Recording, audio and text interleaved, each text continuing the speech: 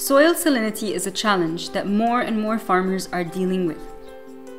The situation started to worsen since the Nile flood stopped and instead was replaced by regular mechanical irrigation.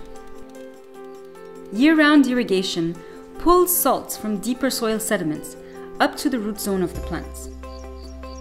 When salt is in close proximity to plant roots, it literally pulls fresh water from them, which weakens or kills them. It is a sad reality when farmers lose their harvest because of salinity. It is an urgent problem that requires a change in practices.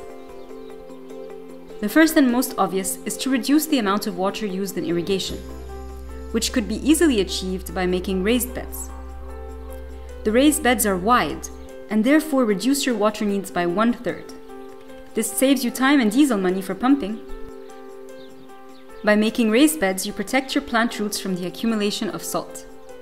Because raised beds are at least 20 centimeters high, the salts end up in the furrows and not near your plant roots. Salinity can be dealt with by growing salt tolerant crops, such as lucerne. Lucerne covers your soil and therefore reduces evaporation. This helps reduce salts appearing at the surface. On bare grounds, or loosely distributed crops, salt can be seen on the surface more easily. When soil is extremely salty, it will limit what you can grow to salt tolerant crops, such as beets, broccoli, white and red cabbage. For fruit trees, you can plant certain types like date palms, guava, figs, and olives.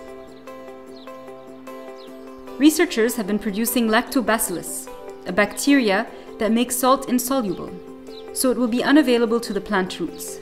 It is produced in a laboratory and added to irrigation water and sprayed on the plants close to the roots.